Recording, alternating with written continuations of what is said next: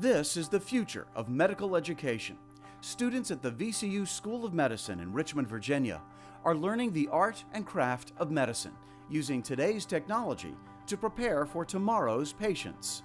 This is the James W. and Frances G. McGlothlin Medical Education Center. In this 12 story, 200,000 square foot building, students are using innovative state of the art technology designed to complement an equally innovative 21st century student centered curriculum.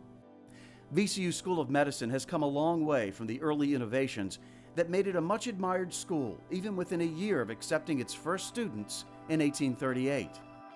Every turn of this new building reveals a new technology rich innovation. These learning tools give life to a curriculum that is taught not only in traditional classroom spaces, but also in the environments where future doctors will practice medicine, learning spaces that are dynamic and highly interactive. The Learning Theater, where professors can project data on the big screen while students follow along on their personal computers. The Center for Human Simulation and Patient Safety, where experiential learning takes place with task trainers and high fidelity mannequins the exam rooms where medical students work with standardized patients who are actors posing as patients and then use video review to critique themselves. The flexible learning spaces, giving faculty and students opportunities to work together closely, sharing information from the walls to the screen. And then there are the unique learning studios. This evolution in medical education motivates students to learn and discover in small groups to collaborate on findings, share, and challenge each other. So, uh, a 20 year old woman is referred by her primary care physician for hyperthyroidism. Hair and skin could be more of a hypothyroid symptom, the goiter. Yeah, you're right. It's mostly for the irregular heartbeats, tremors, anxiety. The high tech collaboration systems in the learning studios create an interactive learning opportunity for students. They work together to discover the paths toward treatment of diseases and injuries, a vital component of the new curriculum.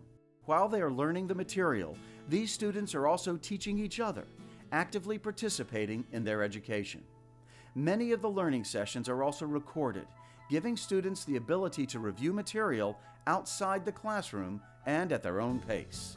The way that they design the room and, and the shape of the table really kind of helps with the collaboration. When you're in a big lecture theater, uh, a lot of times you have to turn around to, you know, to interact with your peers. Um, here, it's a more open environment. You're, you're facing each other from the start.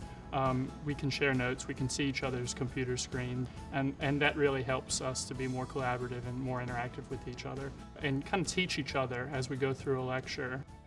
It teaches us very early on how to utilize each other's best talents, how to um, interact with people with different personalities, different skill sets, different approaches to things, and um, it definitely teaches us very early on that collaborative team effort in order to target a problem and solve it. Medicine's not a field that you practice uh, alone in, in your own little bubble. Um, so it's it's very helpful to be able to uh, to start working as a group and learning as a group from the start. Perhaps the most important innovation in the McGlothlin Medical Education Center is how it was designed. Rarely has a medical school been able to construct a new facility from scratch and have it dovetail directly with a new curriculum. We collectively were able to develop what we think is an incredibly innovative and unique curriculum with simulation, with interprofessional training, with um, real forethought in terms of where medicine is moving uh, in the next century. We're forced to think on our feet a lot, um, and that is going to be the case in our careers in the future. So, being the kind of the first guinea pig, so to say, of the curriculum um, with all this new technology and getting to try it out first, it really helps us, I think, be a little bit more proactive as learners, um, as well as being a little bit more flexible as well in a learning environment and understanding that you know things um, are not static; they're very dynamic.